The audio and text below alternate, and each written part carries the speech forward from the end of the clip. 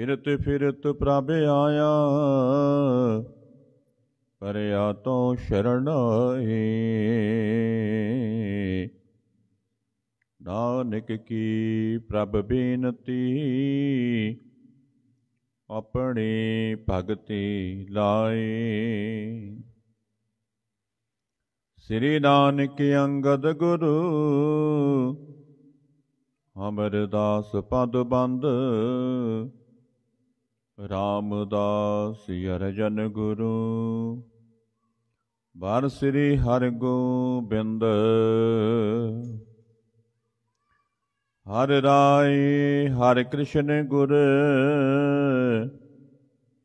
ਤੇਗ ਬਹਾਦਰ ਚੰਦ। ਦਸਵੇਂ ਗੋਬਿੰਦ ਸਿੰਘ ਗੁਰੂ। ਨਮੋ ਚਰਨ ਅਰਬਿੰਦ। ਜਿਉ ਬੁਲਾਵੇ ਤੋ ਬੋਲੇ ਸੁਆਮੀ। ਕੁਦਰਤ ਕਬਨ ਹਮਾਰੀ। ਸਾਧ ਸੰਗ ਨਾਨਕ ਜਸ ਗਾਇਓ। ਜੋ ਪ੍ਰਭ ਕੀ ਅਤ ਪਿਆਰੀ। ਗਿਆਨ ਧਿਆਨ ਕਿਛ ਕਰ ਬਿਨਾ ਜਾਣਾ। ਸਾਰ ਨ ਜਾਣਾ ਤੇਰੀ। ਸਾਬਤੀ ਵੱਡਾ ਸਤਿਗੁਰ ਨਾਨਕ, ਜਿਨ ਕਲ ਰਾਖੀ ਮੇਰੀ। ਸਭ ਤੇ ਵੱਡਾ ਸਤਿਗੁਰ ਨਾਨਕ, ਜਿਨ ਕਲ ਰਾਖੀ ਮੇਰੀ। ਵਾਹਿਗੁਰੂ ਜੀ ਕਾ ਖਾਲਸਾ, ਵਾਹਿਗੁਰੂ ਜੀ ਕੀ ਫਤਿਹ। ਸੋ ਆਪ ਸਰਬੱਤ ਸਿੱਖ ਸੰਗਤਾਂ, ਭਾਈ ਭਾਈ, ਵਡ ਭਾਗਿਓ ਧੰਤਾ ਦੀ ਜੋਗੋ। ਜੋ ਕਿ ਇਸ ਵਕਤ ਜੁਗੋ ਜੁਗੇ ਅਟਲ ਗੱਦੀ ਤੇ ਸੁਭਾਈਮਾਨ ਸਬਰ ਤਖਤ ਦੇ ਮਾਲਿਕ, ਹਾਜ਼ਰ ਨਾਜ਼ਰ ਸਤਿਗੁਰੂ, ਧੰਨ ਸ੍ਰੀ ਗੁਰੂ ਗ੍ਰੰਥ ਸਾਹਿਬ ਜੀ ਮਹਾਰਾਜ ਦੀ ਪਵਿੱਤਰ ਗੋਦ ਵਿੱਚ ਬੈਠ ਕਰਕੇ ਸਤਿਗੁਰਾਂ ਦੀ ਪਵਿੱਤਰ ਗੁਰਬਾਣੀ ਦਾ ਆਨੰਦ ਮਾਣਦੇ ਹੋਏ ਆਪਣੇ ਜੀਵਨ ਦੀਆਂ ਕੁਝ ਘੜੀਆਂ ਸਫਲੀਆਂ ਬਣਾ ਰਹੇ ਹੋ, ਵੱਡਿਆਂ ਭਾਗਾਂ ਵਾਲੇ ਹੋ। ਆਓ ਗੁਰੂ ਚਰਨਾਂ ਵਿੱਚ ਬੈਠ ਕਰਕੇ ਸਤਿਗੁਰਾਂ ਦੇ ਪਵਿੱਤਰ ਇਤਿਹਾਸ ਸਰਵਣ ਕਰਕੇ ਲਾਹੇ ਲੈ ਕੇ ਤੰਤਾ ਦੇ ਯੋਗ ਬਣੀਏ। ਕੱਲ ਆਪਾਂ ਨੇ ਸਰਵਣ ਕੀਤਾ ਸੀ ਕਿ ਧੰਨ ਸ੍ਰੀ ਗੁਰੂ ਹਰਗੋਬਿੰਦ ਜੀ ਮਹਾਰਾਜ, ਮੇਰੀ ਪ੍ਰੀਤ ਦੇ ਮਾਲਕ, ਸੱਚੇ ਪਾਤਸ਼ਾਹ ਨੇ ਆਪਣੇ ਸਹਿਬਜ਼ਾਦੇ ਗੁਰਦਿੱਤਾ ਜੀ ਨੂੰ ਨਵੀਂ ਨਗਰੀ ਵਸਾਉਣ ਵਾਸਤੇ ਗਿਆ। ਜਿੱਥੇ ਨਵੀਂ ਨਗਰ ਵਸਾਉਣ ਵਾਸਤੇ ਗਿਆ ਉਥੇ ਬੁੱਢਣ ਸ਼ਾਹ ਦੇ ਨਾਲ ਬਲਾਪ ਸਤਿਗੁਰਾਂ ਨੇ ਇਹ ਦਰਸਾਇਆ ਕਿ ਗੁਰਦਿੱਤਾ ਜੀ ਨੇ ਪੁੱਛਿਆ ਕਿ ਕਾਰਨ ਕੀ ਹੈ? ਤੇ ਸਤਿਗੁਰਾਂ ਨੇ ਕਾਰਨ ਦਰਸਾਣਾ ਕੀਤਾ ਇਹ ਧੰਨ ਸ੍ਰੀ ਗੁਰੂ ਨਾਨਕ ਦੇਵ ਜੀ ਮਹਾਰਾਜ ਗਏ ਸੀ ਉਸ ਵਕਤ ਇਸ ਸੰਤ ਨੇ ਸੇਵਾ ਕੀਤੀ ਤੇ ਸਤਿਗੁਰਾਂ ਨੇ ਇਹਨਾਂ ਦੇ ਨਾਲ ਇਹ ਬਚਨ ਕੀਤੇ ਕਿ ਤੁਹਾਡੀ ਅਵਸਥਾ, ਤੁਹਾਡੀ ਉਮਰ ਬਹੁਤ ਲੰਬੇਰੀ ਹੋਵੇਗੀ। ਜਦੋਂ ਅਸੀਂ ਛੇਵੇਂ ਜਾਮੇ ਵਿੱਚ ਆਵਾਂਗੇ ਤੇ ਸਾਡਾ ਸਹਿਬਜ਼ਾਦਾ ਗੁਰਦਿੱਤਾ ਜੀ ਤੁਹਾਡੇ ਪਾਸ ਆਉਣਗੇ ਤੇ ਤੁਹਾਡੇ ਪਾਸੋਂ ਭੁੱਖ ਲੱਗੀ ਹੋਣ ਕਰਕੇ ਦੁੱਧ ਮੰਗਣਗੇ। ਤੇ ਤੁਹਾਡੇ ਮਨ ਦੀਆਂ ਭਾਵਨਾਵਾਂ ਸੰਪੂਰਨ ਕਰਨਗੇ। ਇਤਨਾ ਸਮਾਂ ਤੁਸੀਂ ਇਸ ਸੰਸਾਰ ਤੇ ਰਹੋਗੇ। ਆਓ ਹੁਣ ਆਪਾਂ ਇਸ ਤੋਂ ਅੱਗੇ ਸਰਵਣ ਕਰੀਏ ਕਿ ਗੁਰਦਿੱਤਾ ਜੀ, ਪਿਤਾ ਗੁਰੂ ਜੀ ਦਾ ਹੁਕਮ ਪਾ ਕੇ ਪਹਾੜਾਂ ਵਾਲੇ ਪਾਸੇ ਜਾ ਕੇ ਇਸ ਨਗਰੀ ਨੂੰ ਕਿੱਦਾਂ ਵਸਾਉਂਦੇ ਐ ਤੇ ਕਿਵੇਂ ਬੁੱਢਣ ਸ਼ਾਹ ਫਕੀਰ ਦੇ ਨਾਲ ਜਾ ਕੇ ਮਿਲਾਪ ਕਰਦੇ ਐ, ਇਸ ਤੋਂ ਅੱਗੇ ਸਰਵਣ ਕਰੀਏ। ਵਾਹਿਗੁਰੂ ਜੀ। ਸਤਨਾਮ ਵਾਹਿਗੁਰੂ ਸਾਹਿਬ ਜੀ। ਗੁਰ ਗੁਰ ਸਿਮਰਤ ਕਰਤ ਉਡੀਕਾ, ਭਇਓ ਮਹਾਸ਼ੁਦ ਜਿਸੂ ਰਣੀਕਾ। ਤਿਸ ਕੋ ਮਿਲੋ ਕਰੋ ਪੁਨਡੇਰਾ ਨਗਰ ਬਸਾਬੂ ਆਪਣ ਕੇਰਾ। ਸਤਿਗੁਰੂ ਜੀ ਮਹਾਰਾਜ, ਧੰਨ ਸ੍ਰੀ ਗੁਰੂ ਹਰਗੋਬਿੰਦ ਜੀ ਮਹਾਰਾਜ ਕਹਿਣ ਲੱਗੇ ਗੁਰਦਿੱਤਾ ਜੀ, ਸਹਿਬਜ਼ਾਦਾ ਜੀ, ਉਸ ਵਕਤ ਤੋਂ ਬੁੱਢਣ ਸ਼ਾਹ ਗੁਰੂ ਗੁਰੂ ਜਪ ਰਿਹਾ ਇੱਕ ਮਨ ਚਿੱਤ ਹੋ ਕਰਕੇ ਉਹ ਉਡੀਕ ਕਰ ਰਿਹਾ ਹੈ ਤੇ ਸਤਿਗੁਰਾਂ ਦੇ ਨਾਮ ਦਾ ਸਿਮਰਨ ਹੋ ਰਿਹਾ ਹੈ। ਉਹਦਾ ਹਿਰਦਾ ਸ਼ੁੱਧ ਹੋ ਚੁੱਕਿਆ ਹੈ। ਇੱਕ ਮਨ ਚਿੱਤ ਹੋ ਕਰਕੇ ਉਹ ਯਾਦ ਕਰ ਰਿਹਾ ਹੈ। ਉਹਨਾਂ ਦਾ ਹਿਰਦਾ ਬੜਾ ਸ਼ਵਸ਼ ਹੋ ਚੁੱਕਾ ਹੈ। ਉਸ ਨੂੰ ਮਿਲੋ ਤੇ ਉਸ ਤੋਂ ਬਾਅਦ ਮਿਲ ਕਰਕੇ ਪਹਾੜਾਂ ਦੇ ਲਾਗੇ ਇੱਕ ਸੁੰਦਰ ਨਗਰ ਵਸਾਉਣਾ ਹੈ ਤੇ ਸਾਰਿਆਂ ਨੂੰ ਬੁਲਾ ਕਰਕੇ ਉੱਥੇ ਤੁਸਾਂ ਨੇ ਵਸੇਬਾ ਕਰਵਾਉਣਾ ਹੈ। ਜਿਵੇਂ ਜਿਵੇਂ ਕੋਈ ਵਸਣ ਵਾਸਤੇ ਆਏ, ਉਹਨਾਂ ਨੂੰ ਤੁਸਾਂ ਨੇ ਸੁੰਦਰ ਮਕਾਨ ਬਣਵਾ ਕਰਕੇ ਦੇਣੇ ਹਨ। ਯਥਾ ਰਚੀ ਪੁਰ ਬੜੇ ਹਮਾਰੇ, ਤਿਮ ਤੁਮ ਰਚੋ ਆਪਨ ਪੁਰ ਭਾਰੇ, ਹਮਰੇ ਹੋਵਤ ਹੀ ਰਚ ਲੀਜੈ, ਕੇਤਕ ਬਾਸ ਆਪਨ ਤੈ ਕੀਜੈ। ਕਿ ਜਿੱਦਾਂ ਪਹਿਲੋਂ ਨਗਰ ਵਸਾਣਾ ਕੀਤੇ ਐ, ਉਸੇ ਤਰ੍ਹਾਂ ਤੁਸੀਂ ਉੱਥੇ ਜਾ ਕੇ ਤੇ ਨਵਾਂ ਨਗਰ ਜਿਹੜਾ ਉਹ ਤਿਆਰ ਕਰਵਾਣਾ ਕਰੋ। ਸਾਡੇ ਹੁੰਦਿਆਂ ਇਸ ਸੋਹਣੇ ਨਗਰ ਨੂੰ ਤੁਸੀਂ ਬਣਾ ਲਵੋ। ਸਾਡੇ ਹੁੰਦਿਆਂ ਹੁੰਦਿਆਂ ਸੋਹਣੇ ਨਗਰ ਦੀ ਉਸਾਰੀ ਕਰੋ ਅਤੇ ਕਾਫੀ ਸਮਾਂ ਆਪਣਾ ਨਿਵਾਸ ਵੀ ਤੁਸਾਂ ਨੇ ਉੱਥੇ ਹੀ ਰੱਖਣਾ ਹੈ ਉਸ ਨਗਰੀ ਦੇ ਵਿੱਚ ਤੁਸਾਂ ਨੇ ਆਪਣਾ ਨਿਵਾਸ ਵੀ ਰੱਖਣਾ ਹੈ ਤੇ ਜਾ ਕੇ ਵਸਾ ਕਰਕੇ ਤੇ ਸਾਰਿਆਂ ਦਾ ਵਸੇਬਾ ਕਰਵਾਉਣਾ ਹੈ। ਪੁੰਤ ਵਸੰਤ ਗਾਦੀ ਲੇਹੇ ਬਸੇ ਕਾਲ ਚ ਸਹਿ ਸਨੇਹੇ। ਕਿ ਫਿਰ ਸਮਾਂ ਆਉਣ ਤੇ ਸਹਿਬਜ਼ਾਦਾ ਜੀ ਤੁਹਾਡਾ ਪੁੱਤਰ ਇੱਥੇ ਗੱਦੀ ਪ੍ਰਾਪਤ ਕਰੇਗਾ। ਸਮਾਂ ਆਉਣ ਤੇ ਤੁਹਾਡਾ ਪੁੱਤਰ ਇਸ ਜਗ੍ਹਾ ਤੇ ਗੱਦੀ ਪ੍ਰਾਪਤ ਕਰੇਗਾ ਲੰਮਾ ਸਮਾਂ ਤੁਸਾਂ ਨੇ ਪਿਆਰ ਦੇ ਨਾਲ ਇੱਥੇ ਰਹਿਣਾ ਹੈ। ਸੋਹਣੇ ਢੰਗ ਦੇ ਨਾਲ ਇਸ ਨੂੰ ਵਸਾਉਣਾ ਹੈ ਤੇ ਪਿਆਰ ਦੇ ਨਾਲ ਇਸ ਨਗਰੀ ਵਿੱਚ ਵਸੇਬਾ ਕਰਨਾ ਹੈ। ਇਸ ਕਾਰਜ ਵਾਸਤੇ ਉੱਥੇ ਜਾਓ ਤੇ ਹੁਣ ਸਮਾਂ ਸਹਿਬਜ਼ਾਦਾ ਜੀ ਬਿਲਕੁਲ ਸ਼ੁਭ ਹੈ ਤੇ ਜੇ ਸਮੇਂ ਤੇ ਅਸਾਂ ਨੇ ਤੁਹਾਨੂੰ ਕਹਿਣਾ ਕੀਤਾ ਜਾਓ ਤੇ ਜਾ ਕੇ ਉਸ ਨਗਰੀ ਨੂੰ ਵਸਾਣਾ ਕਰੋ। ਸ੍ਰੀ ਗੁਰਦਿੱਤਾ ਸੁਨ ਬਿਦ ਸਾਰੀ ਹਰਖ ਤੁਰਤ ਘਰੀ ਤਬ ਤਿਆਰੀ। ਤੇ ਗੁਰਦਿੱਤਾ ਜੀ ਨਾ, ਪਿਤਾ ਗੁਰੂ ਜੀ ਦਾ ਹੁਕਮ ਪਾ ਕੇ ਉਸੇ ਵਕਤ ਹੀ ਫਿਰ ਤਿਆਰੀ ਕਰਨਾ ਕੀਤੀ ਹੈ। ਗੁਰਦਿੱਤਾ ਜੀ ਨੇ ਪਿਤਾ ਗੁਰੂ ਜੀ ਦਾ ਹੁਕਮ ਸੁਣ ਕਰਕੇ ਤਿਆਰੀ ਕੀਤੀ ਪ੍ਰਸੰਨ ਹੋ ਕੇ ਕਾਫੀ ਧਨ ਸਤਿਗੁਰਾਂ ਨੇ ਗੁਰਦਿੱਤਾ ਜੀ ਨੂੰ ਦੇਣਾ ਕੀਤਾ ਹੈ। ਧਨ ਗਨ ਸ੍ਰੀ ਸਤਿਗੁਰ ਤੇ ਲੀਨ, ਤੀਨ ਮਾਤ ਕੋ ਬੰਧਨ ਕੀਨ। ਇਹ ਆਪਣੀਆਂ ਤਿੰਨੇ ਮਤਾਵਾਂ ਨੂੰ ਨਮਸਕਾਰ ਕੀਤੀ ਹੈ। ਵਿਦਾਇਗੀ ਲੈਣ ਵਾਸਤੇ ਨਾ, ਅਸੀਸਾਂ ਲੈਣ ਵਾਸਤੇ ਆਪਣੀਆਂ ਮਤਾਵਾਂ ਦੇ ਚਰਨ ਪਰਸੇ ਹੈ। ਵੱਡਿਆਂ ਦਾ ਸਤਿਕਾਰ ਕੀਤਾ ਅਤੇ ਅਸੀਸਾਂ ਲਈਆਂ ਨੇ ਤੇ ਪਿਤਾ ਗੁਰੂ ਜੀ ਨੇ ਧਨ ਦੇਣਾ ਕੀਤਾ ਹੈ। ਕਿਉਂਕਿ ਜਾ ਕੇ ਨਗਰੀ ਵਸਾਉਣੀ ਹੈ। ਸਤਿਗੁਰਾਂ ਨੇ ਬੜਾ ਵੱਡਾ ਧਨ ਦੇ ਦਿੱਤਾ। ਪੌਂਦਰ ਬਾਰ ਪਰਿਕਰਮਾ ਫਿਰ ਕੇ, ਹਾਥ ਜੂਰ ਅਬ ਬੰਧਨ ਕਰਕੇ ਕਿ ਦਰਬਾਰ ਸਾਹਿਬ ਵਿਖੇ ਨਮਸਕਾਰ ਕਰਕੇ, ਪਰਕਰਮਾ ਕਰਕੇ ਹੱਥ ਜੋੜ ਕੇ ਬੰਦਨਾ ਕੀਤੀ ਹੈ ਅਤੇ ਹਰ ਪੱਖ ਤੋਂ ਤਿਆਰੀਆਂ ਕਰਕੇ ਘੋੜੇ ਤੇ ਸਵਾਰ ਹੋਏ ਤੇ ਆਪਣੀ ਧਰਮ ਸਪਤਰੀ ਨੂੰ ਰਥ ਤੇ ਸਵਾਰ ਕਰਨਾ ਕੀਤਾ ਹੈ। ਸਹਿਬਜ਼ਾਦਾ ਗੁਰਦਿੱਤਾ ਜੀ, ਆਪ ਘੋੜੇ ਤੇ ਸਵਾਰ ਹੋਏ ਹੈ ਆਪਣੀ ਧਰਮ ਪਤਨੀ ਨੂੰ ਰਥ ਤੇ ਸਵਾਰ ਕਰਨਾ ਕੀਤਾ ਹੈ ਬੜੇ ਸਾਰੇ ਯੋਧੇ ਸਤਿਗੁਰਾਂ ਨੇ ਨਾਲ ਹਫਾਜ਼ਤ ਵਾਸਤੇ ਭੇਜਣਾ ਕੀਤੇ ਹੈ ਧੰਨ ਸ੍ਰੀ ਗੁਰੂ ਹਰਗੋਬਿੰਦ ਜੀ ਮਹਾਰਾਜ, ਮੀਰੀ ਪੀਰ ਦੇ ਮਾਲਕ ਸੱਚੇ ਪਾਤਸ਼ਾਹ ਨੇ ਨਾ ਬਹੁਤ ਸਾਰੇ ਯੋਧੇ ਗੁਰਦਿੱਤਾ ਜੀ ਨੂੰ ਦੇਣਾ ਕੀਤੇ ਹੈ ਪਰਿਵਾਰ ਦੀ ਸੁਰੱਖਿਆ ਵਾਸਤੇ ਕਿਉਂਕਿ ਪਹਾੜੀ ਇਲਾਕਾ ਹੈ, ਇਸ ਪਾਸੇ ਵੱਲ ਜਾਣਾ ਹੈ। ਤੇ ਸਤਿਗੁਰਾਂ ਨੇ ਨਾਲ ਗੁਰਸਿੱਖਾਂ ਨੂੰ ਭੇਜਣਾ ਕੀਤਾ ਹੈ। ਧੀਰ ਮੱਲ ਕੋ ਲੀਨੇ ਗੋਦ ਅਦਕ ਦੁਲਾਰਤ ਕਰੇ ਪਰਮੋਦ। ਕਿ ਧਰਮ ਸੁਪਤਰੀ ਨੇ ਧੀਰ ਮੱਲ ਨੂੰ ਗੋਦ ਦੇ ਵਿੱਚ ਲਿਆ ਹੋਇਆ ਕਿਉਂਕਿ ਉਸ ਵਕਤ ਧੀਰ ਮੱਲ ਕੁਛੜ ਸੀ, ਜੋ ਕਿ ਗੁਰਦਿੱਤਾ ਜੀ ਦੇ ਸਹਿਬਜ਼ਾਦੇ ਹੈ। ਕਰਤਾਰਪੁਰ ਵਿਖੇ ਇਹਨਾਂ ਦਾ ਜਨਮ ਹੋਇਆ।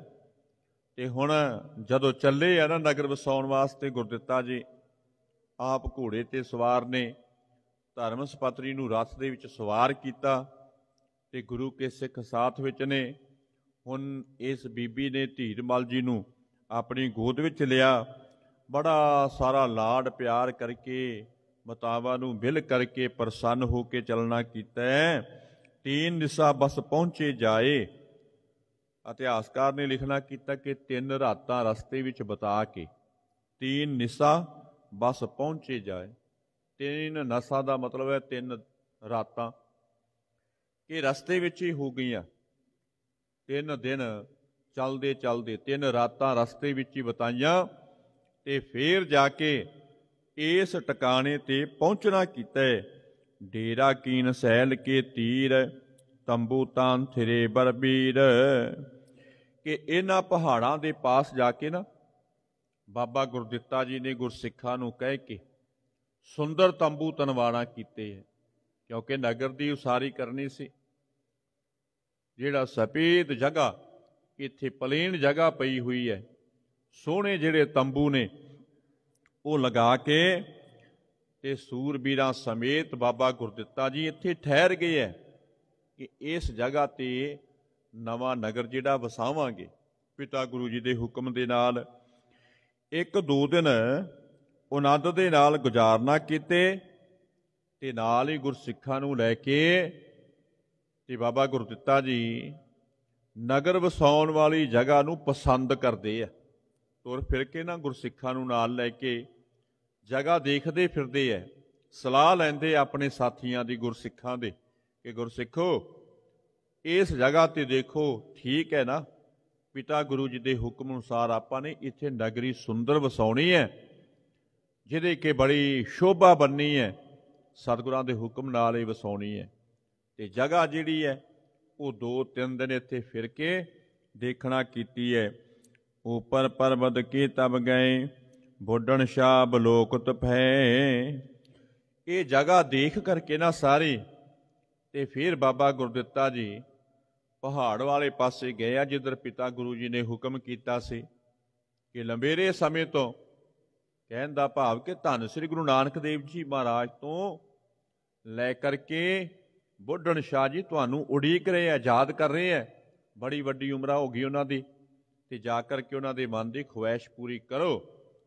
ਫਿਰ ਉਹਨਾਂ ਨੇ ਆਪਣਾ ਸਰੀਰ ਤਿਆਗਣਾ ਕਿਉਂਕਿ ਧੰਨ ਸ੍ਰੀ ਗੁਰੂ ਨਾਨਕ ਦੇਵ ਜੀ ਮਹਾਰਾਜ ਨੇ ਇਹ ਬਚਨ ਕੀਤੇ ਸੀ ਕਿ ਤੁਹਾਡੀ ਬਹੁਤ ਵੱਡੀ ਉਮਰਾ ਹੋਏਗੀ ਬੁੱਢਣ ਸ਼ਾਹ ਜੀ।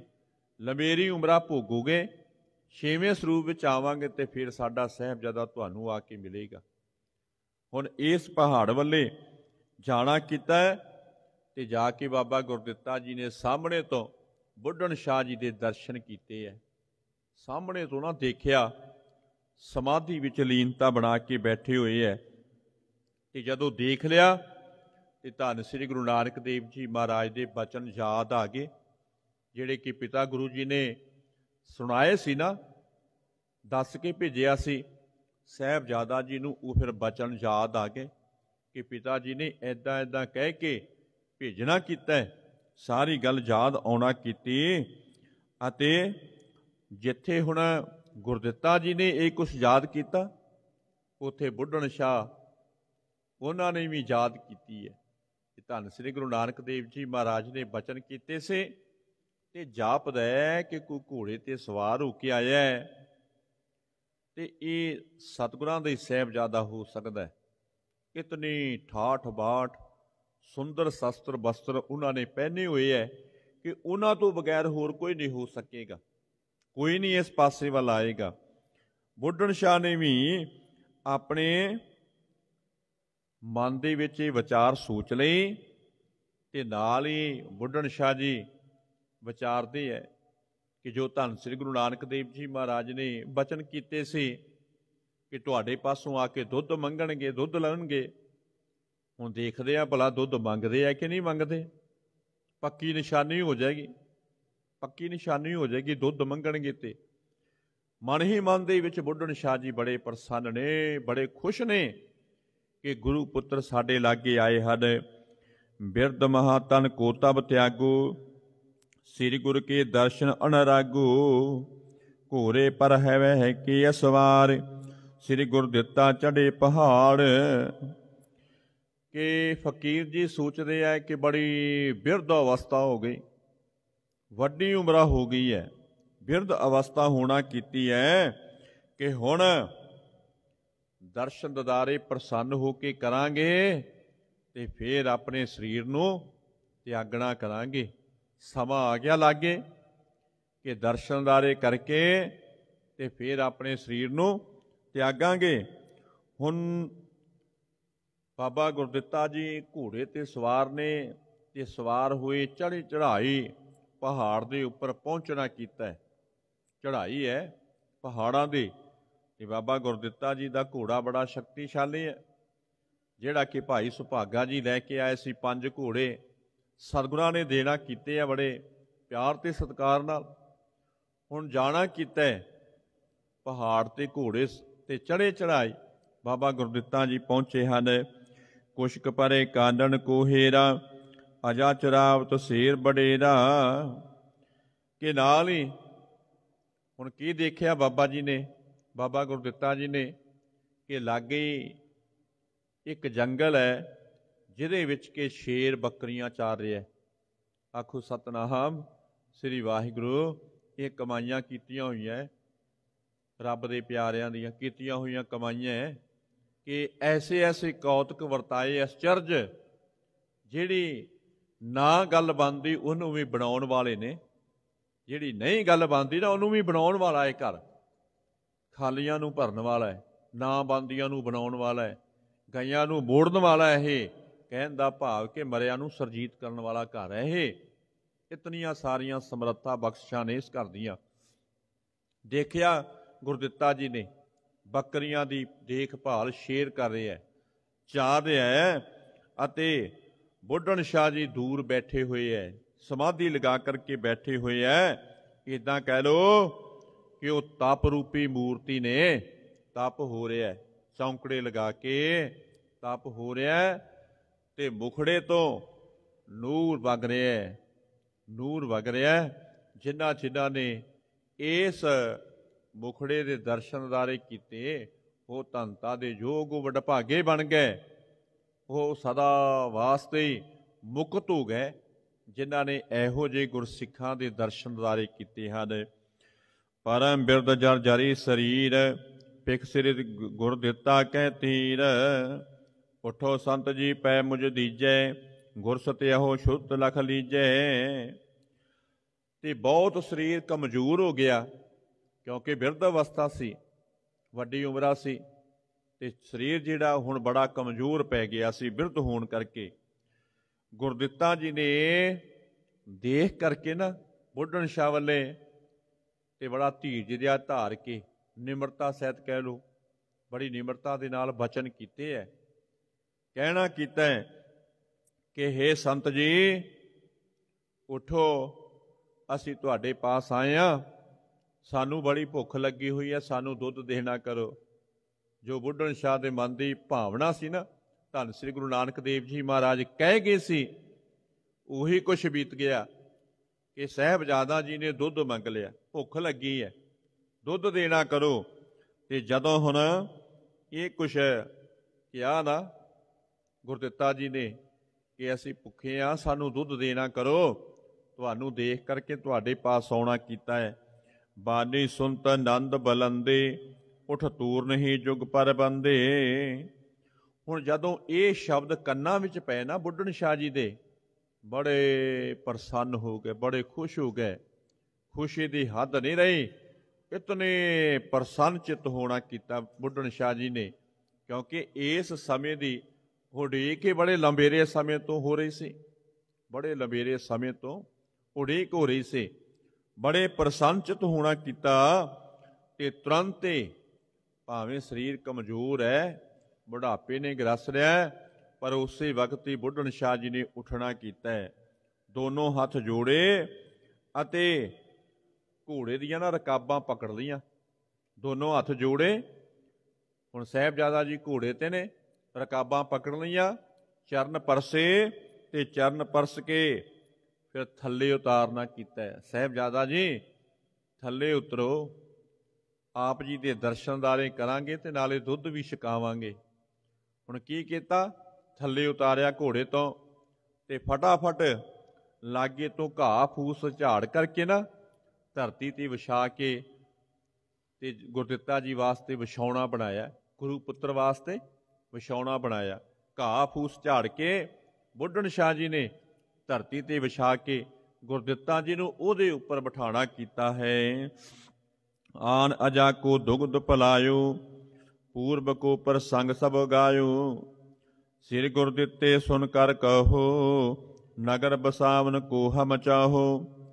ਤੇ ਨਾਲ ਹੀ ਸੁਖ ਸ਼ਾਂਤੀ ਪੁੱਛ ਕੇ ਪ੍ਰਸੰਨਤਾ ਵਿੱਚ ਹੋ ਕੇ ਤੇ ਬੱਕਰੀਆਂ ਦਾ ਦੁੱਧ ਲਿਆ ਕੇ ਤੇ ਗੁਰਦਿੱਤਾ ਜੀ ਨੂੰ ਪੁਲਾਣਾ ਕੀਤਾ ਲਓ ਗੁਰਦਿੱਤਾ ਜੀ, ਛਕਣਾ ਕਰੋ।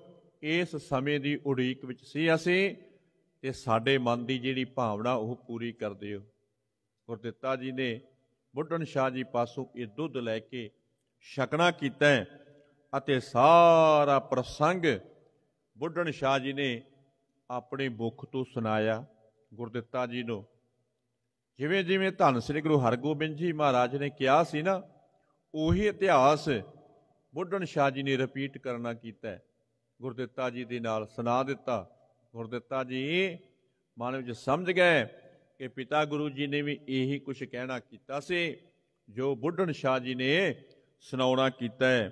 ਇਹ ਸਭ ਕੁਝ ਸੁਣ ਕਰਕੇ ਤੇ ਗੁਰਦਿੱਤਾ ਜੀ ਨੇ ਧੰਨਵਾਦ ਕੀਤਾ, ਬੁੱਢਣ ਸ਼ਾਹ ਜੀ ਦਾ ਤੇ ਨਾਲ ਹੀ ਕਹਿਣਾ ਕੀਤਾ ਕਿ ਸੰਤ ਜੀ, ਪਿਤਾ ਜੀ ਨੇ ਸਾਨੂੰ ਇੱਥੇ ਨਵਾਂ ਨਗਰ ਵਸਾਉਣ ਵਾਸਤੇ ਭੇਜਣਾ ਕੀਤਾ ਹੈ। ਤੇ ਫਿਰ ਤੁਹਾਡੀ ਵੀ ਸਲਾਹ ਲੈਣੀ ਜ਼ਰੂਰੀ ਹੈ। ਤੁਹਾਡੀ ਵੀ ਸਲਾਹ ਲੈਣੀ ਜ਼ਰੂਰੀ ਹੈ, ਕਿਉਂਕਿ ਸਿਆਣੇ ਮਨੁੱਖਾਂ, ਵੱਡੇ ਮਨੁੱਖਾਂ ਦੀ ਸਲਾਹ ਲੈਣੀ ਚੰਗੀ ਹੁੰਦੀ ਹੈ। ਪੰਜਾਬੀ ਦੀ ਕਹਾਵਤ ਹੈ ਕਿ ਕੰਧ ਨੂੰ ਵੀ ਪੁੱਛ ਲੈਣਾ ਚਾਹੀਦਾ ਹੈ। ਸਿਆਣੇ ਬੰਦੇ ਜਿਹੜੇ ਆ ਨਾ, ਉਹ ਲਾਗਿਓਂ ਸਲਾਹ ਲੈ ਲੈਂਦੇ ਆ। ਜਦੋਂ ਅਸੀਂ ਸਲਾਹ ਨਹੀਂ ਨਾ ਲੈਂਦੇ, ਫੇਰ ਮਾਰ ਖਾਂਦੇ ਆ ਅਸੀਂ। ਇਸੇ ਵਾਸਤੇ ਗੁਰਦਿੱਤਾ ਜੀ ਕਹਿਣ ਲੱਗੇ, ਸੰਤ ਜੀ, ਅਸੀਂ ਤੁਹਾਡੇ ਵੀ ਸਲਾਹ ਲੈਣੀ ਚਾਹੁੰਦੇ ਆ। ਜਿੱਥੇ ਆਪਣੇ ਗੁਰਸਿੱਖਾਂ ਦੇ ਨਾਲ ਗੁਰਮਤਾ ਕੀਤਾ, ਤੁਹਾਡੇ ਪਾਸੋਂ ਵੀ ਸਲਾਹ ਲੈਣਾ ਚਾਹੁੰਦੇ ਆ ਕਿ ਕਿਸ ਜਗ੍ਹਾ ਤੇ ਨਗਰੀ ਨੂੰ ਵਸਾਇਆ ਜਾਏ। ਕਹਾ ਰਚੇ ਸੋ ਦੇਹੋ ਬਤਾਈ ਕੁਛ ਆਗਲ ਸੁਧ ਕਹੋ ਬੁਝਾਈ, ਸ੍ਰੀ ਨਾਨਕ ਕੇ ਮੇਲੀ ਅਹੇ, ਚਰੰਕਾਲ ਤਪ ਤਾਪਤ ਰਹੇ।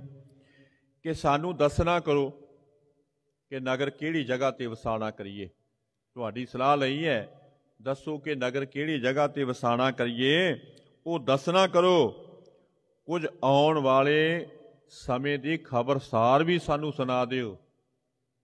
ਕਿਉਂਕਿ ਤੁਸੀਂ ਧੰਨ ਸ੍ਰੀ ਗੁਰੂ ਨਾਨਕ ਦੇਵ ਜੀ ਮਹਾਰਾਜ ਦੇ ਦਰਸ਼ਨ ਦਿਦਾਰੇ ਕੀਤੇ ਐ ਤੇ ਉਹਨਾਂ ਦੇ ਉਪਦੇਸ਼ ਦੇ ਧਾਰਨੀ ਹੋ ਕੇ ਬੜਾ ਵੱਡਾ ਤੁਸਾਂ ਨੇ ਤਪ ਕੀਤਾ ਹੈ ਲੰਮਾ ਸਮਾਂ ਤਪ ਕਰਨਾ ਕੀਤਾ ਹੈ ਧੰਨ ਸ੍ਰੀ ਗੁਰੂ ਨਾਨਕ ਦੇਵ ਜੀ ਮਹਾਰਾਜ ਦੇ ਦਰਸ਼ਨ ਦਿਦਾਰੇ ਕਰਕੇ ਆਪ ਨਰੈਣ ਕਲਾ ਧਾਰ ਜਗ ਮਹਿ ਪਰਵਰਿਓ, ਜਿਹੜੇ ਕਿ ਖੁਦ ਅਕਾਲ ਪੁਰਖ ਵੈਗਰੂ ਸੱਚੇ ਪਾਤਸ਼ਾਹ ਦਾ ਸਵਰੂਪ ਮਨੁੱਖਾ ਜਾਮਾ ਪਹਿਨ ਕੇ ਧਰਤੀ ਦਾ ਭਾਰ ਹੌਲਾ ਕਰਨ ਵਾਸਤੇ ਆਏ।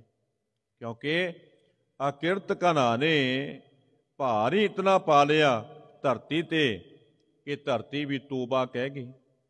ਧਰਤੀ ਵੀ ਤੋਬਾ ਕਹਿ ਗਈ।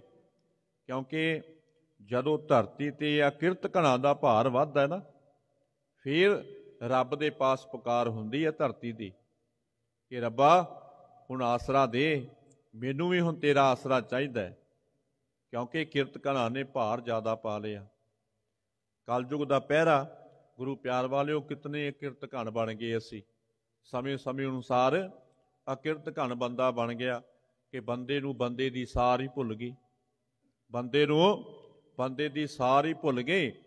ਇਹਦੇ ਨਾਲੋਂ ਵੱਡੀ ਅਕਿਰਤ ਘਣੀ ਹੋਰ ਕੀ ਹੋ ਸਕੇਗੀ? ਕਿਉਂਕਿ ਸਤਿਗੁਰਾਂ ਨੇ ਤੇ ਕਿਹਾ ਕਿ ਬੰਦੇ ਨੂੰ ਮਾਰਨਾ ਹੀ ਨਹੀਂ ਬੰਦੇ ਨੂੰ ਨਹੀਂ ਮਾਰਨਾ।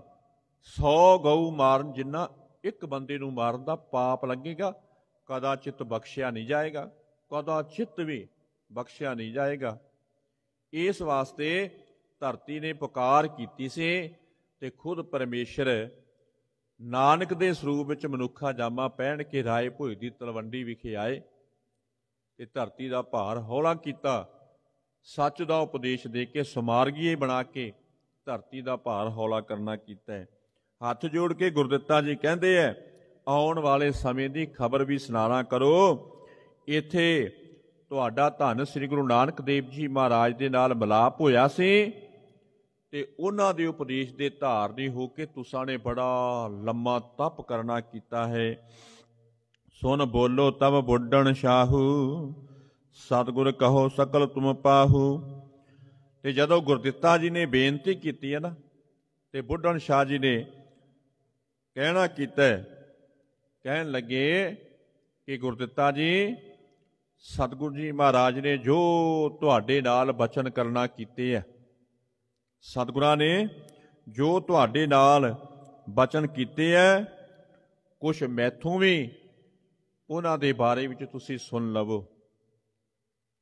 ਬੁੱਢਣ ਸ਼ਾਹ ਜੀ ਦੇ ਕਹਿਣ ਦਾ ਮਤਲਬ ਸੀ ਕਿ ਤੁਹਾਡੇ ਪਿਤਾ ਗੁਰੂ ਜੀ ਨੇ ਜੋ ਤੁਹਾਡੇ ਨਾਲ ਬਚਨ ਕੀਤੇ ਐ, ਉਹਨਾਂ ਦੇ ਬਾਰੇ ਵਿੱਚ ਹੀ ਕੁਝ ਮੈਂ ਵੀ ਤੁਹਾਨੂੰ ਸੁਣਾਉਣਾ ਚਾਹੁੰਦਾ ਕਿ ਇਸ ਪਹਾੜ ਦੇ ਲਾਗੇ ਨਗਰ ਜਿਹੜਾ ਬਹੁਤ ਸੁੰਦਰ ਫੱਬੇਗਾ। ਥੱਲੇ ਵੱਲ ਇਸ਼ਾਰਾ ਕਰਕੇ ਨਾ ਬੁੱਢਣ ਸ਼ਾਹ ਨੇ ਤੇ ਗੁਰਦਿੱਤਾ ਜੀ ਨੂੰ ਕਿਹਾ ਕਿ ਇਹਨਾਂ ਪਹਾੜਾਂ ਦੇ ਲਾਗੇ ਨਗਰ ਵਸਾਓਗੇ ਤੇ ਬੜਾ ਸੁੰਦਰ ਲੱਗੇਗਾ। ਜਿਵੇਂ ਤੁਹਾਨੂੰ ਪਿਤਾ ਗੁਰੂ ਜੀ ਨੇ ਨਿਸ਼ਾਨੀ ਦੇ ਕੇ ਭੇਜਿਆ, ਉਹ ਨਿਸ਼ਾਨੀ ਬਿਲਕੁਲ ਠੀਕ ਹੈ, ਬਿਲਕੁਲ ਠੀਕ ਹੈ ਕਿ ਉਸ ਜਗ੍ਹਾ ਤੇ ਤੁਸੀਂ ਨਗਰੀ ਵਸਾਣਾ ਕਰੋ। ਇਹਾ ਨਿਵਾਸ ਤੁਮਾਰੋ ਹੋਏ, ਸ੍ਰੀ ਗੁਰੂ ਸੰਗ ਆਏ ਸਭ ਕੋਈ ਕਰ ਸੰਗਰਾਮ ਪਹੁੰਚੇ ਇਹਾ, ਹੋਏ ਤੁਰਕ ਸੰਘਾਰ ਨਮਹ ਕਿ ਇਸ ਜਗ੍ਹਾ ਤੇ ਗੁਰਦਿੱਤਾ ਜੀ ਤੁਹਾਡਾ ਨਿਵਾਸ ਹੋਣਾ ਚਾਹੀਦਾ ਹੈ। ਕਿ ਜਿੱਥੇ ਤੁਸੀਂ ਨਗਰੀ ਵਸਾਓਗੇ, ਉਥੇ ਇਸ ਨਗਰੀ ਦੇ ਵਿੱਚ ਤੁਸਾਂ ਨੇ ਆਪਣਾ ਨਿਵਾਸ ਰੱਖਣਾ ਹੈ। ਅਤੇ ਸਤਿਗੁਰੂ ਜੀ ਮਹਾਰਾਜ ਫਿਰ ਇੱਥੇ ਆਉਣਗੇ। ਕਦੋਂ ਆਉਣਗੇ? ਯੁੱਧ ਨਿਬੇੜ ਕਰਕੇ। ਕਿ ਯੁੱਧ ਕਰਕੇ ਸਤਿਗੁਰੂ ਜੀ ਮਹਾਰਾਜ ਇੱਥੇ ਆਉਣਗੇ ਤੇ ਯੁੱਧ ਕਰਕੇ ਤੁਰਕਾਂ ਦਾ ਵੱਡਾ ਵਿਨਾਸ਼ ਕਰਨਗੇ। ਕਿਉਂਕਿ ਗੁਰੂ ਪਿਆਰ ਵਾਲਿਓ ਧੰਨ ਸ੍ਰੀ ਗੁਰੂ ਹਰਗੋਬਿੰਦ ਜੀ ਮਹਾਰਾਜ ਨੇ ਜਦੋਂ ਪਹਿੰਦੇ ਖਾਂ ਦਾ ਪ੍ਰਹਾਰ ਕਰਨਾ ਕੀਤਾ ਨਾ, ਪਹਿੰਦੇ ਖਾਂ ਨੂੰ ਮੌਤ ਦੇ ਮੂੰਹ ਵਿੱਚ ਪਾਇਆ, ਜਿਹੜਾ ਕਿ ਕਿਰਤ ਘਣ ਬਣ ਗਿਆ ਸੀ, ਨਿਮਕ ਹਰਾਮੀ ਬਣ ਗਿਆ, ਜਿੱਥੇ ਸਤਗੁਰਾਂ ਦੇ ਹੱਥੋਂ ਮਾਰਿਆ ਗਿਆ ਨਾ, ਤੇ ਸਤਗੁਰਾਂ ਨੇ ਉਹਦੇ ਮੁਖੜੇ ਉੱਤੇ ਢਾਲ ਕੀਤੀ ਹੋਈ, ਤੇ ਸਤਗੁਰ ਜੀ ਉਹਦੇ ਲਾਗੇ ਬੈਠੇ ਹੋਏ, ਬੜੇ ਗੰਭੀਰ ਹੋ ਗਏ। ਗੰਭੀਰ ਕਹਿਣ ਦਾ ਭਾਵ ਕਿ ਦੁੱਖ ਮਨਾਇਆ। ਕਿੱਥੇ ਹੱਥੀ ਇਹਨੂੰ ਪਾਲਿਆ ਸੀ? ਤੇ ਉਹਨਾਂ ਹੱਥਾਂ ਦੇ ਨਾਲ ਅੱਜ ਇਸ ਨੂੰ ਮਾਰਨਾ ਪੈ ਗਿਆ। ਕਿਉਂ? ਕਿਉਂਕਿ ਕਿਰਤ ਘਣ ਬਣ ਗਿਆ। ਸਮਝਿਆ ਨਹੀਂ। ਬੜਾ ਸਾਰਾ ਸਮਝਾਇਆ, ਪਰ ਸਮਝਿਆ ਨਹੀਂ। ਹੰਕਾਰ ਦੇ ਬੇੜੇ ਤੇ ਸਵਾਰ ਹੋ ਗਿਆ। ਅੱਜ ਤੋਂ ਲੈ ਕੇ ਸ਼ਸਤਰ ਨਹੀਂ ਚੁੱਕਾਂਗੇ। ਸਤਿਗੁਰਾਂ ਨੇ ਉੱਥੇ ਹੀ ਬਚਨ ਕਰ ਲਏ। ਇਤਿਹਾਸ ਪੜੋ ਤੁਹਾਨੂੰ ਸਭ ਕੁਝ ਮਿਲੇਗਾ। ਸਤਿਗੁਰਾਂ ਨੇ ਬਚਨ ਕਰ ਦਿੱਤੇ ਕਿ ਹੁਣ ਹਥਿਆਰ ਨਹੀਂ ਚੁੱਕਾਂਗੇ। ਬੜਾ ਦੁੱਖ ਮਨਾਇਆ ਪੈਂਦੇ ਖਾਨ ਨਿਮਕ ਹਰਾਬੀ ਨੂੰ ਮਾਰ ਕੇ, ਕਿਉਂਕਿ ਫੇਰ ਵੀ ਹੱਥੀ ਪਾਲਿਆ ਸੀ, ਖੁਰਾਕਾਂ ਖਵਾ ਕੇ, ਵਰਜਸਾਂ ਕਰਵਾਈਆਂ ਸੀ ਤੇ ਚੁੱਕਿਆ ਵੀ ਨਹੀਂ ਤੇ ਸਤਿਗੁਰਾਂ ਨੇ ਫਿਰ ਉਸ ਯੁੱਧ ਤੋਂ ਬਾਅਦ ਇਸ ਨਵੀਂ ਨਗਰੀ, ਜਿਹਦਾ ਨਾਮ ਕਿ ਗੁਰਦਿੱਤਾ ਜੀ ਕੀਰਤਪੁਰ ਸਾਹਿਬ ਰੱਖ ਰੱਖ ਰਹੇ ਹੈ, ਜਿੱਥੇ ਕਿ ਅੱਜ ਆਪਾਂ ਜਾ ਕੇ ਵਿਛੜੇ ਹੋਏ ਪ੍ਰਾਣੀਆਂ ਦੇ ਫੁੱਲ ਭੇਟ ਕਰਦੇ ਆ ਨਾ, ਇਹ ਨਗਰੀ ਉਸ ਟਾਈਮ ਵਸਾਈ ਸੀ, ਗੁਰਦਿੱਤਾ ਜੀ ਨੇ। ਧੰਨ ਸ੍ਰੀ ਗੁਰੂ ਹਰਗੋਬਿੰਦ ਜੀ ਮਹਾਰਾਜ ਦੇ ਵੱਡੇ ਸਹਿਬਜ਼ਾਦੇ ਬਾਬਾ ਗੁਰਦਿੱਤਾ ਜੀ ਨੇ ਇਹ ਕੀਰਤਪੁਰ ਨਗਰੀ ਨੂੰ ਵਸਾਣਾ ਕੀਤਾ ਸੀ। ਪੱਕਾ ਵਸੇਬਾ ਰੱਖਿਆ ਤੇ ਸਤਗੁਰ ਜੀ ਇਹ ਯੁੱਧ ਕਰਕੇ ਤੇ ਫਿਰ ਇੱਥੇ ਆ ਕੇ ਟਿਕਾਓ ਕੀਤਾ। ਇੱਥੇ ਆ ਕੇ ਟਿਕਾਓ ਕੀਤਾ। ਸਤਗੁਰੂ ਜੀ ਮਹਾਰਾਜ ਦੇ ਸਹਿਬਜ਼ਾਦੇ ਦੇ ਨਾਲ ਬਚਨ ਕਰ ਰਹੇ ਆ ਬੁੱਢਣ ਸ਼ਾਹ ਜੀ। ਕਹਿੰਦੇ ਗੁਰਦਿੱਤਾ ਜੀ, ਤੁਸੀਂ ਪੱਕਾ ਨਿਵਾਸ ਰੱਖਣਾ ਤੇ ਸਤਿਗੁਰੂ ਜੀ ਮਹਾਰਾਜ ਵੀ ਯੁੱਧ ਨਿਬੇੜ ਕੇ ਫਿਰ ਤੁਹਾਡੇ ਪਾਸ ਹੀ ਆ ਜਾਣਾ। ਤੁਰਕਾਂ ਦਾ ਵਿਨਾਸ਼ ਕਰਕੇ ਤੁਹਾਡੇ ਪਾਸ ਆ ਕੇ ਡੇਰਾ ਕਰਨਗੇ।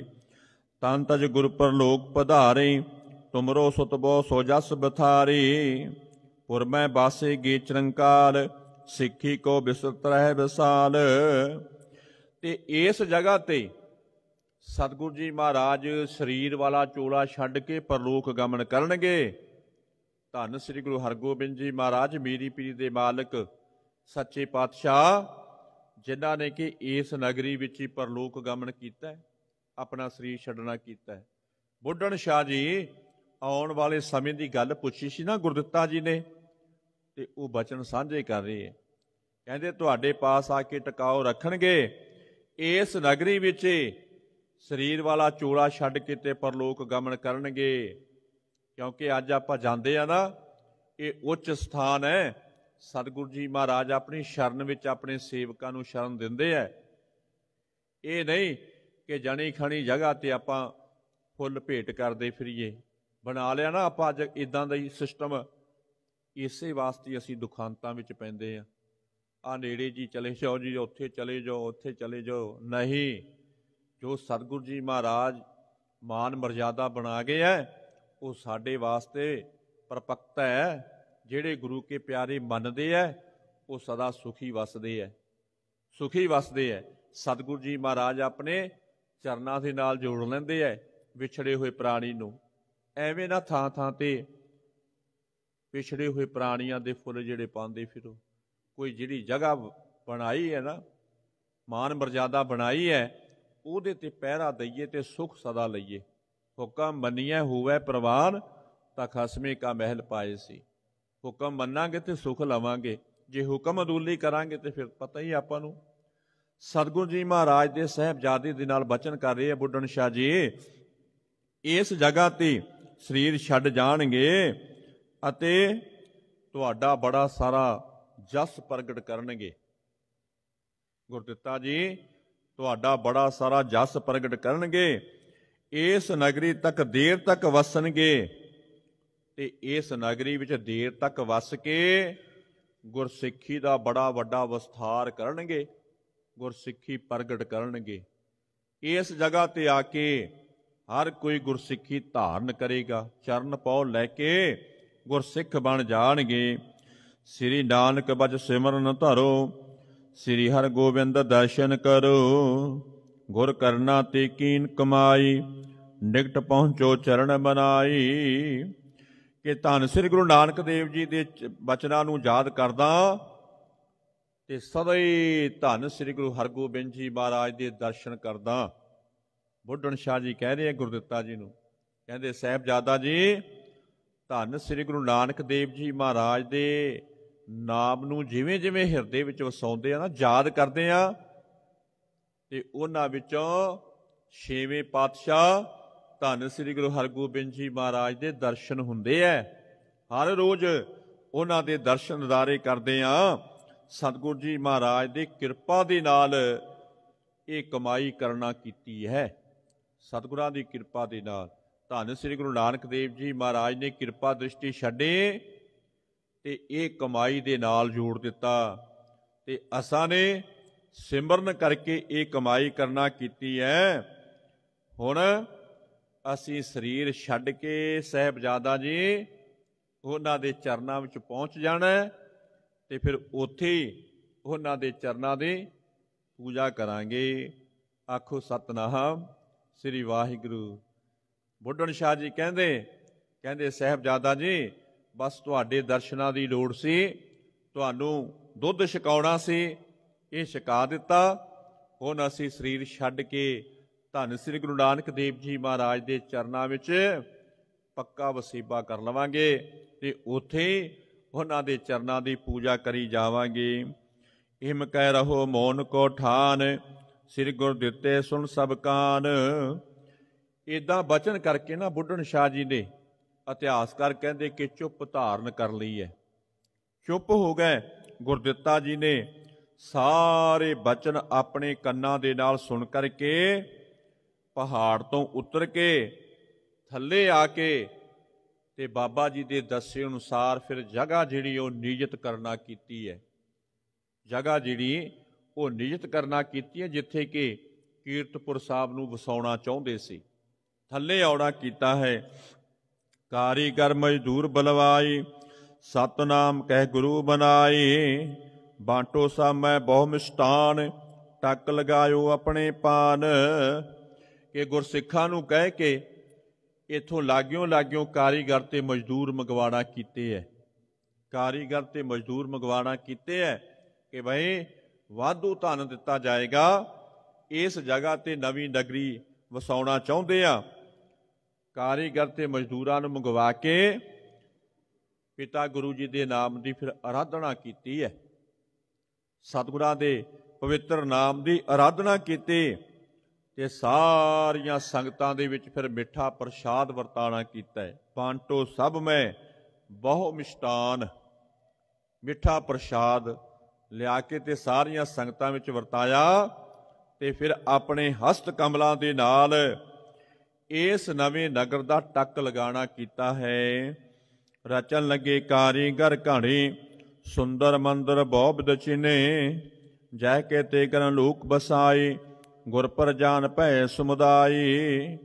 ਕਿ ਬਹੁਤ ਸਾਰੇ ਕਾਰੀਗਰ ਲਗਾ ਕੇ, ਮਜ਼ਦੂਰ ਲਗਾ ਕੇ ਤੇ ਬੜੀ ਕਾਹਲੀ ਦੇ ਨਾਲ ਇਸ ਨਗਰੀ ਦੀ ਚਨਾਈ ਕਰਨ ਲੱਗੀ ਹੈ। ਚਨਾਈ ਸ਼ੁਰੂ ਹੋ ਗਈ।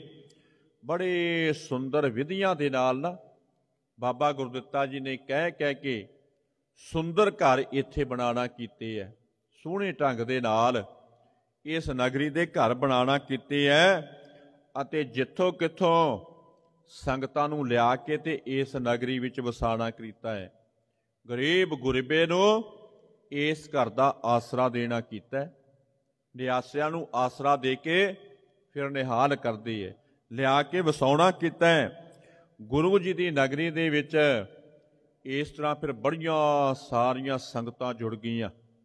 ਬਹੁਤ ਸਾਰੀਆਂ ਸੰਗਤਾਂ, ਜਿਵੇਂ ਜਿਵੇਂ ਪਤਾ ਲੱਗਾ ਨਾ ਕਿ ਸਤਿਗੁਰਾਂ ਦੇ ਸਹਿਬਜ਼ਾਦੇ ਆਏ ਐ ਤੇ ਪਹਾੜਾਂ ਦੇ ਲਾਗੇ ਨਵੀਂ ਨਗਰੀ ਵਸਾਣਾ ਕੀਤੀ ਹੈ ਕਈਆਂ ਨੂੰ ਲਿਆਉਣਾ ਪਿਆ ਤੇ ਕਈ ਫਿਰ ਸੁਣ ਕਰਕੇ ਆਪਣੇ ਆਪ ਆਏ ਐ।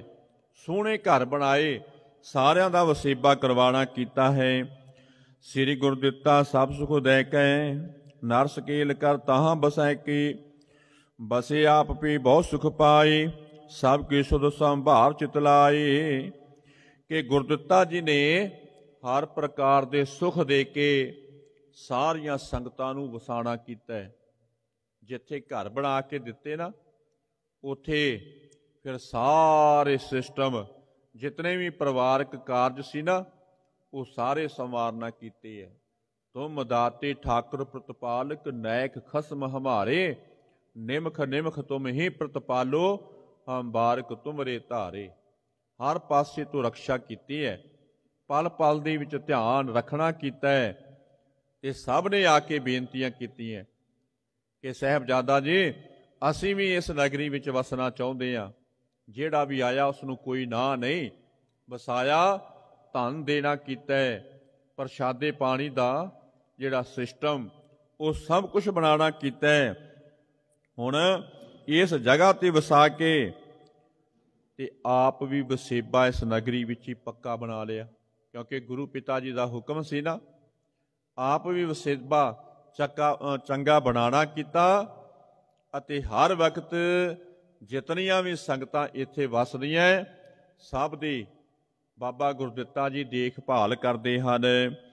ਧਰੇ ਗਰਭ ਨਤੀ ਬੜ ਭਾਗਣ, ਬਸੇ ਸਦਾ ਪਦ ਕੀ ਉਨਰਾਗਨ। ਪਾਤਸ਼ਾਹ ਸੰਤੇ ਪਰਸੂਤ ਬਦ ਚਮ ਸਮ ਗਰਭ ਸਬੂਤ। ਕਿ ਇਸ ਜਗ੍ਹਾ ਤੇ ਜਿਸ ਸਹਿਬਜ਼ਾਦੇ ਨੇ ਗੁਰਤਾ ਗੱਦੀ ਦੇ ਵਾਰਸ ਬੰਨਾ ਸੀ, ਫਿਰ ਉਸ ਨੇ ਇਸ ਜਗ੍ਹਾ ਤੇ ਅਵਤਾਰ ਧਾਰਨ ਕੀਤਾ। ਕਹਿਣ ਦਾ ਭਾਵ ਕਿ ਹਰ ਰਾਏ ਜੀ, ਜਿਨ੍ਹਾਂ ਨੇ ਕਿ ਗੁਰਤਾ ਗੱਦੀ ਤੇ ਸੁਭਾਏਮਾਨ ਹੋਣਾ ਜੋ ਸਤਿਗੁਰਾਂ ਨੇ ਬਚਨ ਛੱਡ ਕੇ ਭੇਜਿਆ ਸੀ, ਹਰ ਰਾਏ ਜੀ ਨੇ ਕੀਰਤਪੁਰ ਸਾਹਿਬ ਵਿਖੇ ਅਵਤਾਰ ਧਾਰਨ ਕੀਤਾ ਹੁਣ ਜਿੱਥੇ ਪਹਿਲੋਂ ਵੱਡਾ ਭਰਾਤਾ ਧੀਰਮਲ ਸੀ, ਉਸ ਤੋਂ ਬਾਅਦ ਹਰ ਰਾਏ ਜੀ ਨੇ ਇਸ ਜਗ੍ਹਾ ਤੇ ਫਿਰ ਅਵਤਾਰ ਧਾਰਨ ਕੀਤਾ ਸੁੰਦਰ ਨਗਰੀ ਵਸਾਣਾ ਕੀਤੀ, ਕਹਿਣ ਦਾ ਭਾਵ ਕਿ ਜੋ ਮਨ ਦੇ ਮਨੋਰਥ ਸੇ, ਇਸ ਨਗਰੀ ਦੇ ਵਿੱਚੋਂ ਪੂਰੇ ਹੋਣ ਲੱਗੇ ਐ। ਕਿਉਂਕਿ ਪਿਤਾ ਗੁਰੂ ਜੀ ਨੇ ਬਚਨ ਛੱਡੇ ਸੀ, ਫਿਰ ਹੁਣ ਵੀ ਕਿਉਂ ਨਾ, ਜਿਤਨੇ ਵੀ ਆਉਂਦੇ ਆ ਨਾ, ਬਾਬਾ ਗੁਰਦਿੱਤਾ ਜੀ ਦੇ ਚਰਨਾਂ ਤੇ ਨਮਸਕਾਰ ਕਰਦੇ ਐ।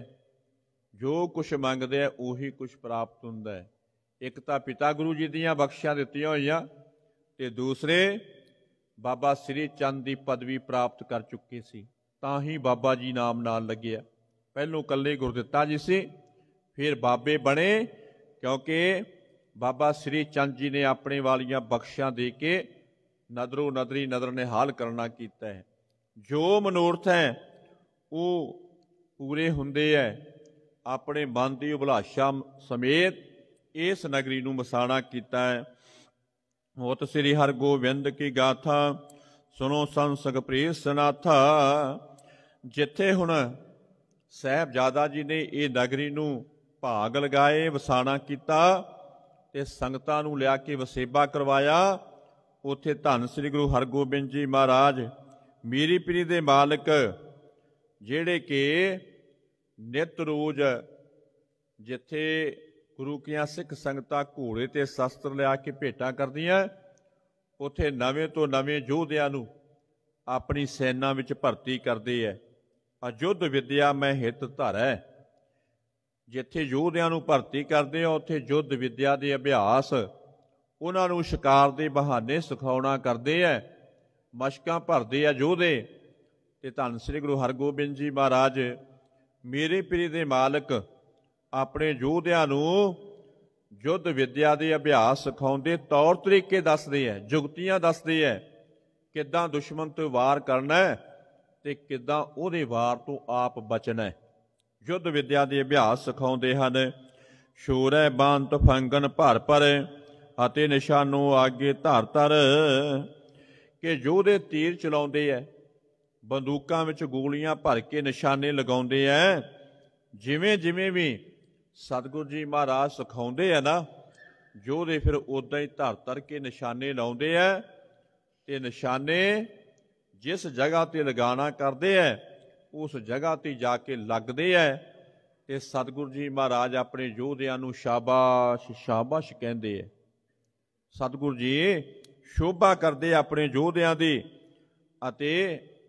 ਜਿੱਥੇ ਸ਼ੋਭਾ ਕਰਦੇ ਐ ਜਿਵੇਂ ਜਿਵੇਂ ਦੇ ਕੋਈ ਯੁੱਧ ਵਿਦਿਆ ਦੇ ਅਭਿਆਸ ਸਿਖਾਉਂਦਾ ਹੈ ਨਾ, ਧੰਨ ਸ੍ਰੀ ਗੁਰੂ ਹਰਗੋਬਿੰਦ ਜੀ ਮਹਾਰਾਜ, ਫਿਰ ਉਹਨਾਂ ਨੂੰ ਮਾਣ ਸਨਮਾਨ ਵੀ ਦਿੰਦੇ ਐ ਜਿੱਥੇ ਹੁਣ ਗੁਰਦਿੱਤਾ ਜੀ ਨੂੰ ਇਹ ਨਗਰੀ ਵਸਾਉਣ ਵਾਸਤੇ ਭੇਜਿਆ, ਜਿੱਥੇ ਕਿ ਯੁੱਧਾਂ ਤੋਂ ਬਾਅਦ ਆਪ ਜੀ ਨੇ ਵਸੇਬਾ ਪੱਕੇ ਤੌਰ ਤੇ ਕਰਨਾ ਸੀ, ਉੱਥੇ ਸਤਿਗੁਰੂ ਜੀ ਮਹਾਰਾਜ ਅਕਾਲ ਤਖਤ ਤੇ ਸੁਭਾਏਮਾਨ ਹੁੰਦੇ ਐ ਆਉਣ ਵਾਲੇ ਸਮੇਂ ਦੀ ਗਤੀ ਨੂੰ ਜਾਣ ਕਰਕੇ ਤੇ ਸਤਿਗੁਰੂ ਜੀ ਮਹਾਰਾਜ ਨਿਤ ਰੋਜ਼ ਯੋਧਿਆਂ ਨੂੰ ਭਰਤੀ ਕਰਦੇ ਐ।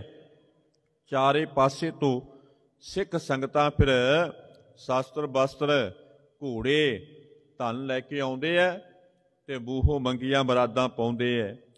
ਸਤਿਗੁਰੂ ਜੀ ਮਹਾਰਾਜ ਦੇ ਸੀਸ ਤੇ ਗੁਰੂ ਕੇ ਸਿੱਖ ਚੌਰ ਚਲਾਉਂਦੇ ਐ ਤੇ ਦੂਰੋਂ ਆਉਣ ਵਾਲਿਆਂ ਨੂੰ ਇਦਾਂ ਮਹਿਸੂਸ ਹੁੰਦਾ ਕਿ ਜਿਵੇਂ ਇੱਕ ਪਾਸੇ ਤੋਂ ਚਿੱਟਾ ਹੰਸ ਉਡਾਰੀ ਮਾਰ ਕੇ ਦੂਸਰੇ ਪਾਸੇ ਤੇ ਦੂਸਰੇ ਪਾਸੇ ਤੋਂ ਫੇਰ ਪਿੱਛੇ ਨੂੰ ਆਉਂਦਾ ਹੈ। ਬੜੀ ਵੱਡੀ ਸ਼ੋਭਾ ਪ੍ਰਗਟ ਜਿਹੜੀ ਕਰਨਾ ਕੀਤੀ ਹੈ। ਸਤਿਗੁਰੂ ਜੀ ਮਹਾਰਾਜ, ਫਿਰ ਇਤਨੇ ਵੱਡੇ ਪਰਪਕਾਰੀ ਆਉਣ ਵਾਲੀਆਂ ਸੰਗਤਾਂ ਨੂੰ ਬਖਸ਼ਿਆਂ ਦੇ ਕੇ ਨਿਹਾਲ ਕਰਦੇ ਐ ਤੇ ਸਿੱਖ ਸੰਗਤਾਂ ਦੇਸ਼ਾਂ ਵਿਦੇਸ਼ਾਂ ਤੋਂ ਆਪਣੀਆਂ ਪਿਟਾਵਾਂ ਲਿਆ ਕੇ ਸਤਿਗੁਰਾਂ ਦੇ ਚਰਨਾਂ ਵਿੱਚ ਭੇਟਾ ਕਰਦੇ ਐ ਜੋ ਜੋ ਇਥੋਂ ਆ ਕੇ ਮੰਗਦੇ ਐ ਉਹੀ ਕੁਝ ਪ੍ਰਾਪਤ ਹੁੰਦਾ ਹੈ। ਆਪੋ ਆਪਣੀਆਂ ਮਨੋ ਕਾਮਨਾ ਸੰਪੂਰਨ ਕਰਕੇ ਤੇ ਵਾਪਸ ਆਪੋ ਆਪਣੇ ਘਰਾਂ ਨੂੰ ਧੰਨ ਸ੍ਰੀ ਗੁਰੂ ਨਾਨਕ ਦੇਵ ਜੀ ਮਹਾਰਾਜ ਦੇ ਘਰ ਦਾ ਜਸ ਕਰਦੇ ਜਾਂਦੇ ਐ, ਸ਼ੋਭਾ ਕਰਦੇ ਜਾਂਦੇ ਐ ਤੇ ਕਹਿੰਦੇ ਆ ਕਿ ਭਈ ਜਿਹੜੇ ਸੇਵਕ ਬਣ ਜਾਣਗੇ ਨਾ ਇਸ ਘਰ ਦੇ, ਸਤਿਗੁਰੂ ਜੀ ਮਹਾਰਾਜ ਇਤਨੇ ਸਮਰੱਥ ਨੇ, ਉਹਨਾਂ ਨੂੰ ਜਮਾ ਤੂੰ ਬਚਾ ਲੈਣਗੇ ਕਿ ਉਹਨਾਂ ਜੋਧਿਆਂ ਨੂੰ ਜਮਾ ਦੀ ਮਾਰ ਨਹੀਂ ਪਵੇਗੀ। ਇਤਨੀ ਸਤਿਗੁਰੂ ਜੀ ਮਹਾਰਾਜ ਦੀ ਰਹਿਮਤ ਹੈ ਤੇ ਧੰਨ ਸ੍ਰੀ ਗੁਰੂ ਹਰਗੋਬਿੰਦ ਜੀ ਮਹਾਰਾਜ, ਜਿਨ੍ਹਾਂ ਦੇ ਚਰਨਾਂ ਦੇ ਵਿੱਚੋਂ ਸਿੱਧ ਤਪੇ ਪੰਡਤ ਅਤੇ ਬ੍ਰਹਮਚਾਰੀ ਆ ਕੇ ਸਮਾਰਗ ਦੇ ਰਸਤੇ ਨੂੰ ਪਾ ਕੇ ਤੇ ਧੰਤਾ ਦੇ ਯੋਗ ਬਣਦੇ ਆ। ਜਿਤਨੇ ਵੀ ਆਏ, ਸਤਿਗੁਰੂ ਜੀ ਸਾਰਿਆਂ ਨੂੰ ਬਖਸ਼ਿਆ ਦੇ ਕੇ ਸਮਾਰਗ ਤੇ ਪਾਈ ਜਾ ਰਹੀ ਹੈ ਇਸ ਤਰ੍ਹਾਂ ਹੁਣ ਸਤਿਗੁਰੂ ਜੀ ਮਹਾਰਾਜ ਨਿਤ ਰੋਜ਼ ਅਕਾਲ ਤਖਤ ਵਿਖੇ ਸੁਭਾਏਬਾਨ ਹੁੰਦੇ ਐ ਤੇ ਸੰਗਤਾਂ ਨੂੰ ਬਖਸ਼ਾਂ ਦੇ ਕੇ ਨਿਹਾਲ ਕਰਦੇ ਐ। ਹਰ ਪਾਸੇ ਸਤਿਗੁਰੂ ਜੀ ਮਹਾਰਾਜ ਦੇ ਘਰ ਦੀ ਸ਼ੋਭਾ ਹੋ ਰਹੀ ਹੈ ਸ਼ੋਭਾ ਹੋ ਰਹੀ ਹੈ ਤੇ ਸੰਗਤਾਂ ਇਥੋਂ ਦਾਤਾਂ ਲੈ ਕੇ ਤੇ ਨਿਹਾਲ ਹੁੰਦੀਆਂ ਜਾਂਦੀਆਂ ਦੂਸਰੇ ਪਾਸੇ ਬਾਬਾ ਗੁਰਦਿੱਤਾ ਜੀ ਨੇ ਇਹ ਕੀਰਤਪੁਰ ਸਾਹਿਬ ਨਵੀਂ ਨਗਰੀ ਨੂੰ ਵਸਾ ਕੇ ਜਿੱਥੇ ਭਾਗ ਲਾਏ, ਉਥੇ ਬੜੀਆਂ ਸਾਰੀਆਂ ਸੰਗਤਾਂ ਨੂੰ ਵਸਾ ਕੇ ਤੇ ਹਰ ਪੱਖ ਤੋਂ ਉਹਨਾਂ ਦਾ ਖਿਆਲ ਕਰਕੇ ਬਖਸ਼ਾਂ ਦੇ ਕੇ ਤੇ ਨਿਹਾਲ ਕਰਨਾ ਕੀਤਾ ਹੈ। ਅੱਜ ਇੱਥੇ ਸਮਾਪਤੀ ਹੈ। ਕੱਲ ਨੂੰ ਫੇਰ ਸਤਿਗੁਰੂ ਜੀ ਕਿਰਪਾ ਕਰਨਗੇ। ਇਸ ਤੋਂ ਅੱਗੇ ਜਿਸ ਤਰ੍ਹਾਂ ਵੀ ਸਤਿਗੁਰਾਂ ਦੇ ਪਵਿੱਤਰ ਇਤਿਹਾਸ ਆਉਣਗੇ, ਜੇ ਸਤਿਗੁਰਾਂ ਦੀ ਕਿਰਪਾ ਹੋਏਗੀ ਤੇ ਕੱਲ ਆਪ ਗੁਰੂ ਕੀਆਂ ਸਿੱਖ ਸੰਗਤਾਂ ਨੂੰ ਸਰਵਣ ਕਰਵਾਇਆ ਜਾਏਗਾ, ਬੇਨਤੀ ਕਰਾਂਗੇ। ਜਿਤਨਾ ਵੀ ਹੋ ਸਕੇ ਮਨ ਬਿਰਤੀ ਇਕਾਗਰ ਕਰਕੇ, ਗੁਰੂ ਚਰਨਾਂ ਵਿੱਚ ਬੈਠ ਕਰਕੇ, ਸਤਿਗੁਰਾਂ ਦੀ ਪਵਿੱਤਰ ਗੁਰਬਾਣੀ, ਪਵਿੱਤਰ ਇਤਿਹਾਸ ਸੁਣ ਕਰਕੇ ਮਨ ਕਰਕੇ ਹਿਰਦੇ ਵਿੱਚ ਵਸਾ ਕੇ ਲਾਹੇ ਲੈ ਕੇ ਤਨਤਾ ਦੇ ਯੋਗ ਬਣੀਏ। ਸਤਿਗੁਰੂ ਜੀ ਸਮਰੱਥ ਨੇ ਕਿਰਪਾ ਦੇ ਦਾਤੇ ਹੈ ਸਾਡੇ ਸਿਰ ਤੇ ਮਿਹਰ ਭਰੇ ਰੱਖਣਗੇ। ਸਾਡਾ ਵੀ ਜੀਵਨ ਸਵਰ ਜਾਏਗਾ ਤੇ ਅਸੀਂ ਵੀ ਤਨਤਾ ਦੇ ਯੋਗ ਬਣ ਜਾਵਾਂਗੇ। ਕਥਾ ਕਰਦਿਆਂ ਤੋਂ ਬੇਅੰਤ ਭੁੱਲਾਂ ਹੋਈਆਂ ਹੋਣਗੀਆਂ। ਜਿੱਥੇ ਧੰਨ ਸ੍ਰੀ ਗੁਰੂ ਗ੍ਰੰਥ ਸਾਹਿਬ ਜੀ ਮਹਾਰਾਜ ਬਖਸ਼ਿੰਦ ਪਿਤਾ ਹੈ, ਉੱਥੇ ਆਪ ਰੱਬ ਵਰਗੀਆਂ ਗੁਰੂ ਕੀਆਂ ਸਿੱਖ ਸੰਗਤਾਂ ਜੁੜ ਬੈਠੇ ਹੋ। ਕਿਰਪਾ ਕਰਿਓ ਆਪਣੇ ਦਾਸਾਂ ਦੇ ਸਿਰ ਤੇ ਵੀਰ ਭਰੇ ਰੱਖਿਓ। ਤਾਂ ਕਿ ਤੁਸ਼ ਬੁੱਧੀ ਅਨੁਸਾਰ ਆਪ ਜੀ ਦੇ ਚਰਨਾਂ ਦੀ ਇਤਿਹਾਸਾਂ ਰਹੀ ਸੇਵਾ ਕਰਕੇ ਧੰਨਤਾ ਦੇ ਯੋਗ ਬਣਦੇ ਰਹੀਏ। ਬਹੁਤ ਬਹੁਤ ਧੰਨਵਾਦ। ਧੰਨ ਸ੍ਰੀ ਗੁਰੂ ਗ੍ਰੰਥ ਸਾਹਿਬ ਜੀ ਮਹਾਰਾਜ ਦਾ, ਜਿਨ੍ਹਾਂ ਦੀ ਰਹਿਮ ਸਦਕਾ ਤੁਸ਼ ਬੁੱਧੀ ਅਨੁਸਾਰ ਆਪ ਜੀ ਦੇ ਚਰਨਾਂ ਦੀ ਇਤਿਹਾਸਾਂ ਰਹੀ ਸੇਵਾ ਕੀਤੀ ਹੈ। ਸਤਿਗੁਰੂ ਜੀ ਕਿਰਪਾ ਕਰਨ, ਆਪਣੇ ਦਾਸਾਂ ਦੇ ਸਿਰ ਤੇ ਵੀਰ ਭਰੇ ਰੱਖਣ।